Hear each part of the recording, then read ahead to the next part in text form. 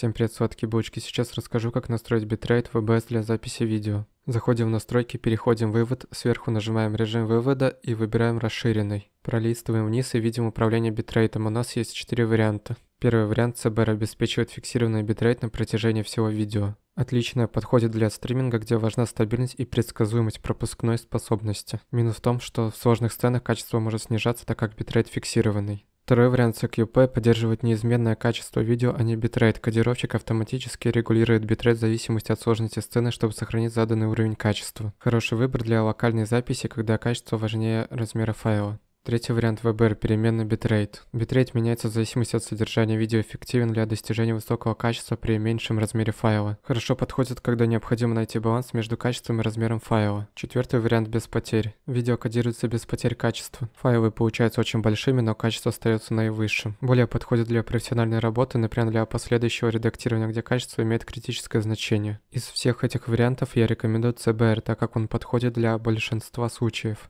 Далее переходим во вкладку Bitrate. Более высокий битрейт обеспечивает лучшее качество видео, но увеличивает размер файла. Если вы играете в игры, где очень быстро все происходит, рекомендую устанавливать битрейт выше этих значений, чтобы избежать артефактов, таких как пикселизация и размытие. Если видео было полезным, лайк и подписка, а самое главное, берегите себя и своих близких. Пока.